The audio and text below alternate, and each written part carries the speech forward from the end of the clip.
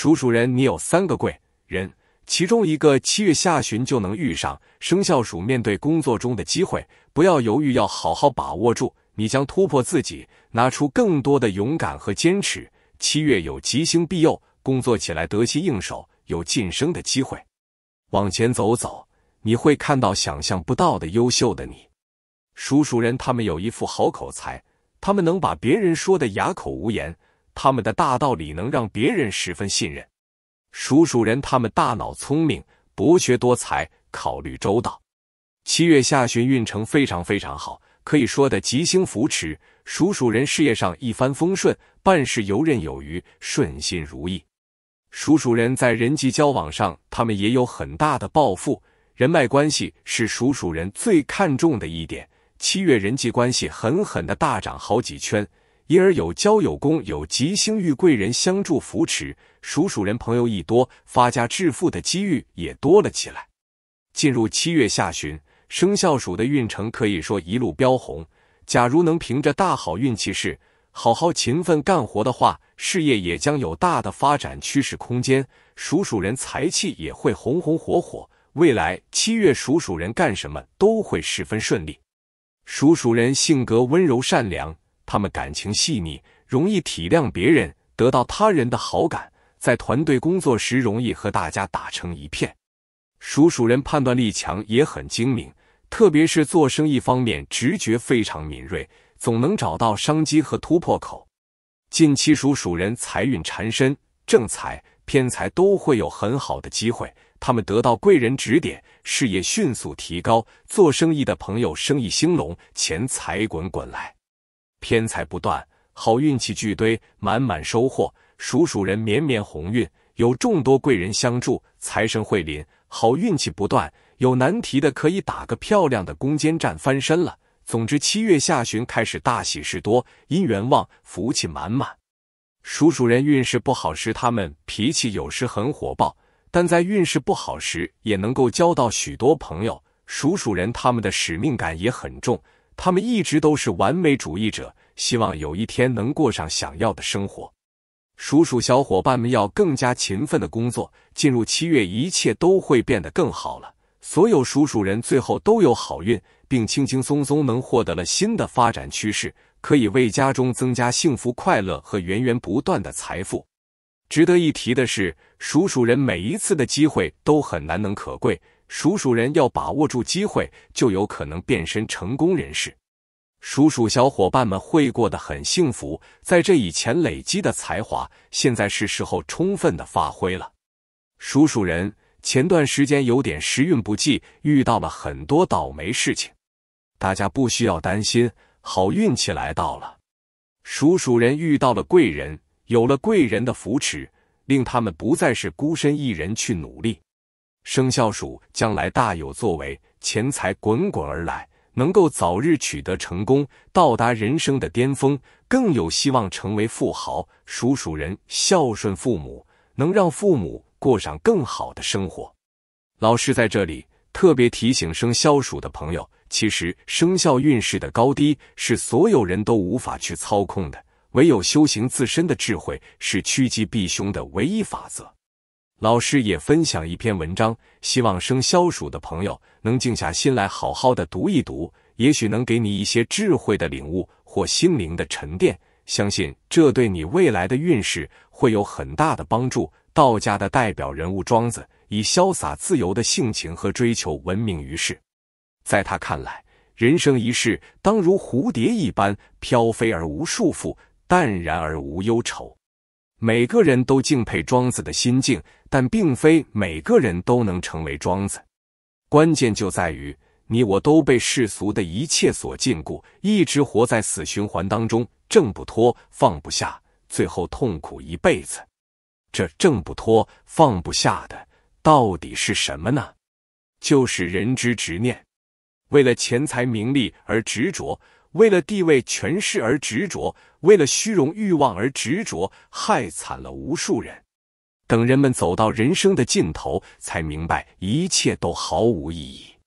沉溺其中的人，不过是成为了世俗的奴隶罢了，一直被世俗的事物牵着鼻子走，如同傀儡一般。人执着的这三样东西，皆是虚妄，会给人带来苦命。唯有及时看淡，那生活的质量才能得到更大的提升。一尘世的钱财名利，别贪多，够用就好。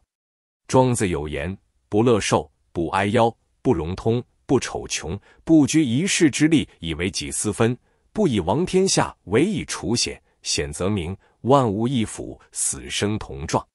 人不该因为长寿而快乐，不该因为夭折而悲伤。”不该因为通达而感到荣耀，不该因为贫穷而感到耻辱。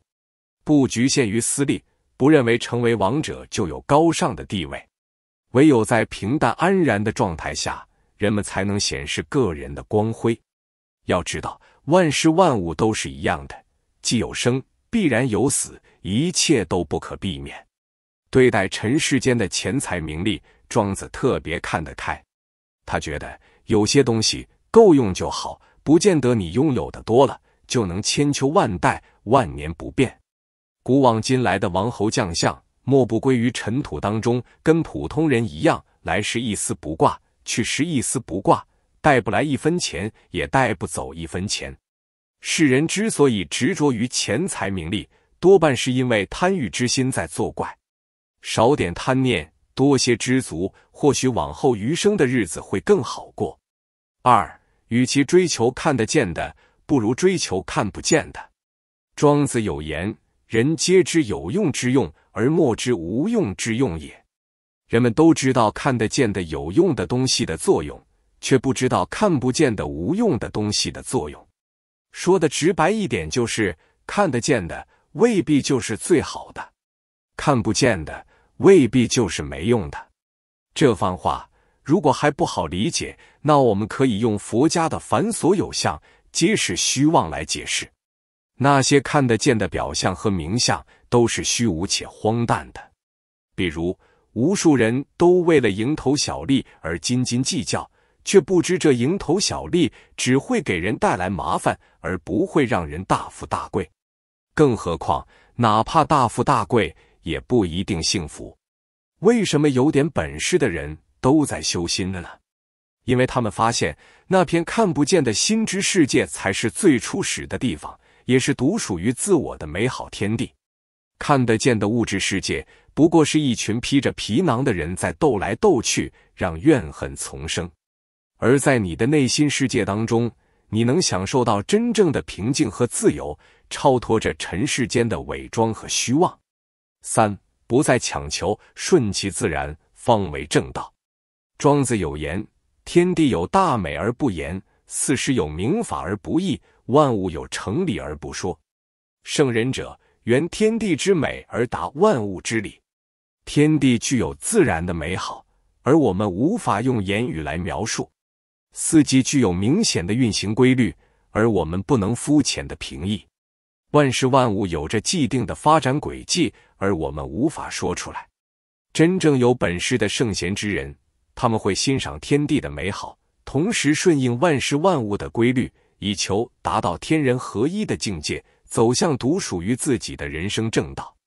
道家最本质的追求就是自然，生而为人都只是大自然中的一份子罢了，没有什么了不起的。如此，按照自然的规律活下去就足够了。什么时候该吃饭？什么时候要睡觉？什么时候该受苦？什么时候才能成功？都有它既定的时间。如此，我们没必要改变什么，也没必要执着什么，淡然处之就好。宇宙很大，人类很小，不要觉得人类有多厉害。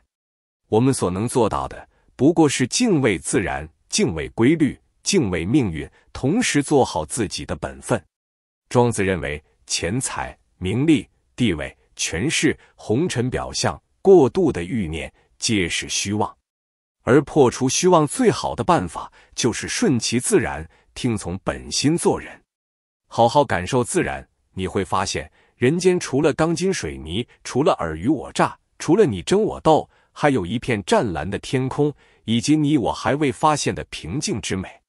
好好感受内心，你会发现，耕耘好内心的那块田。比苦苦追求毫无意义的东西要有用的多。活到最后，用不了多少物质，而需要依靠的只是内心罢了。